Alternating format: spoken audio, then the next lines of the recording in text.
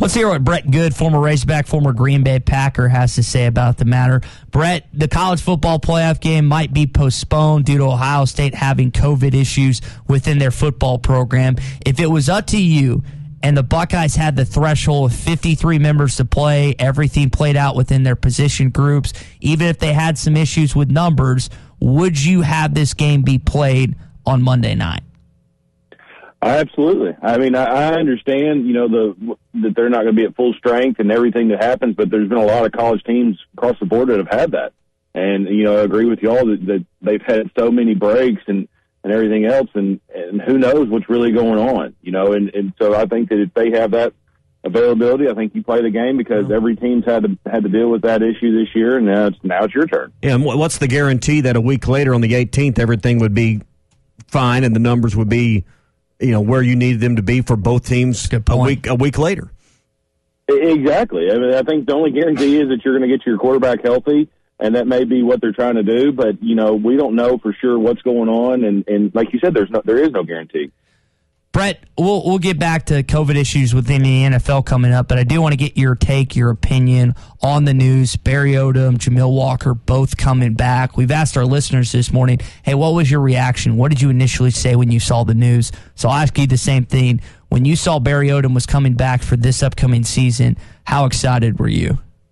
Uh, it, it, very excited because you know we did so well and made such an improvement from you know last year to the year before, and so now you want to see you know year two of what we can actually do and, and, and keep growing as a program because you know it's hard for these guys when these coordinators change all the time, and and, and you know you got guys with the transfer portal that want to leave, and so now we've got some you know solid foundations built, and now we can improve on that, and I think that's great for for the guys that have come back to play football another year, and also the guys coming in for the you know the recruiting class. Brett, what does it say about Sam Pittman and Hunter Yurachek that they were able to convince, whether it was money, whether it was relationship? What does it say about those two individuals that they were able to keep their strength and conditioning coach? And their defensive coordinator after being potentially lured to another SEC and power or blue blood school. Uh, well, I hope it was a little bit of both. I hope it was, you know, the personality and, and money because if, the more, the better we get as a program, the more our assistants are going to be tried to, to pull apart and taken away, and we're going to have to pay them more than than what we're used to. And you look at all the the conferences of the SEC to you know to Texas. You look at what they've paid their assistant coaches and and how much money they're willing to just fork out. And so to be able to compete long term, if we get a good you know solid assistant like a Sam Pittman was forever. He was just a long term assistant coach. You're going to have to pay those type of guys. Yeah. So you know now you're in this period. It's kind of a, a dead period for the football program. Everybody's more or less off and off off campus until the 10th. How much is this about the body healing and, and coming through the season? I know the schedule's been different. You didn't have much of a downtime between the end of a regular season. Normally, right after Thanksgiving. Then you, you have some bowl practices. Uh, you know, you played up in, until December and through uh, the middle part of December. Um, how much of this is about just rest and getting the, the body healed up before you start what will be a, a pretty intense eight week or so period of off season uh, before before you start pre- spring practice? I think it's huge, and not only do you have to rest and get your body healed up from what you just put yourself through through the season, but you've got you know, the commitment for all the COVID stuff that we're still talking about of having to deal with that, whether, you know, that you've maybe pushed a birthday back for somebody that you've loved or Christmas or Thanksgiving. And so now's the time to get your body right and, and get right with your families and your friends and, and, and do it in a safe manner, but they've got to have that, you know, that normalcy back to their life a little bit before they start that off-season program again. And when we think about spring practice, I know off-season they got to make the physical gains and all of that, but really, you know, looking forward and, and ahead to March and spring practice, it's hard not to think about the quarterback position and think about that first. Uh, we know that you know a lot of eyes are going to be on that, and and the, maybe the battle that's going to ensue there. Absolutely, and I think that that's what we look forward to as Hogs fans. Is that you know we we all used to joke there was you know fall football and spring football were you know two major sports in, in Arkansas because that's what we love, and and so we're going to be tuned into that. But I don't know if they make the decision. You know who, who's going to be the starter until probably summer. Um, but I definitely would like to see, you know, going into into training camp that they've named a starter if there's a, a clear cut starter. So um, it's going to be a tough battle. It's going to be fun to t- fun to watch, and, and, and competition's good. Competition's great for a football team, and and hopefully that'll continue to help grow us.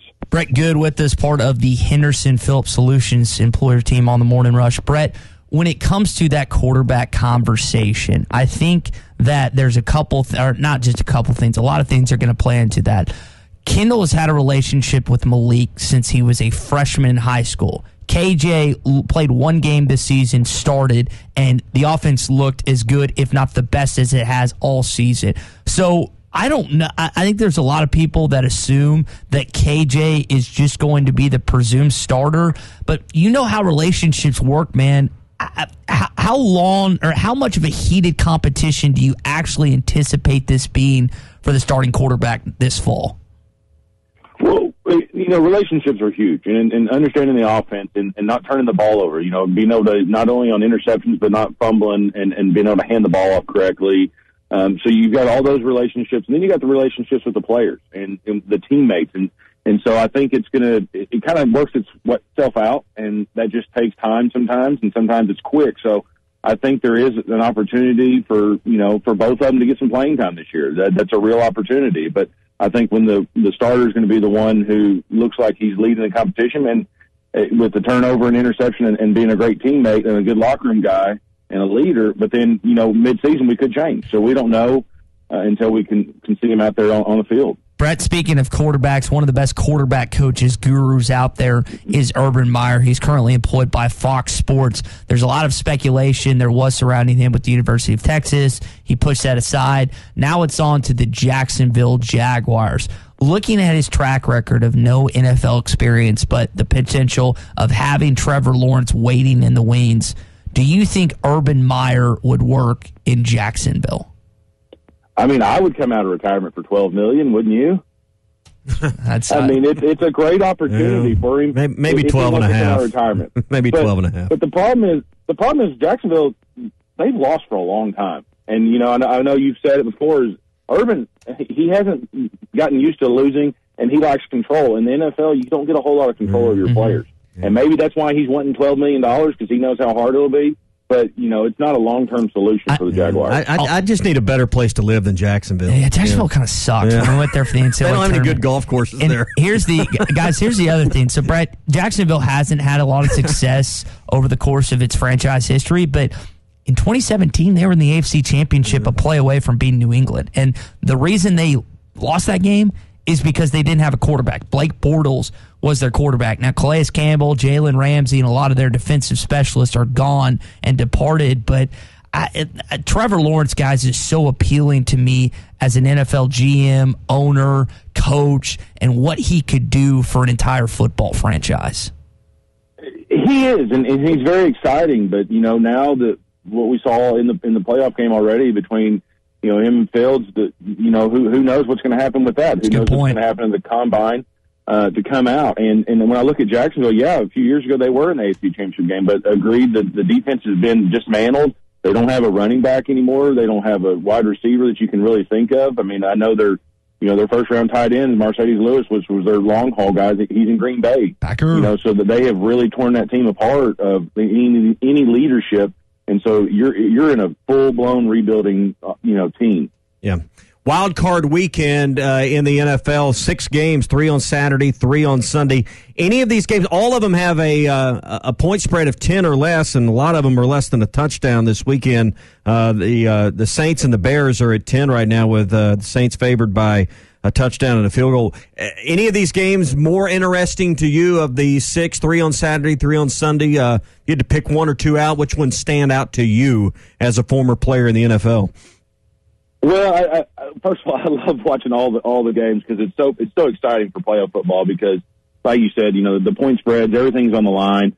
Um, I'd like to see what the Bills do um, to see if they're really you know going to be able to contend and, and go out there because the culture they're a good football team, and then obviously the Bears, you know they they got in from Arizona losing, um, you know so you don't know how good they'll be, but the Saints end up probably winning that game at home. Um, I think the Steelers come back and win that game because they, you know, it was a close game last week without Big Ben. Um, so it, it's gonna it's gonna be interesting. Uh, you know, it, I, I think there probably might could be a blowout. You know, with the Buccaneers in Washington, depending on how well Tampa Tampa plays. So uh, it's it's going to be an exciting exciting weekend. Yeah. Brett, last uh, last question on the NFL before we let you go, buddy. The Browns, uh, I just I feel for that fan base, man. You get to your first playoff appearance since 2002. Oh, by the way, your coach has COVID, and now he can't coach against your heated rival, the Pittsburgh Steelers.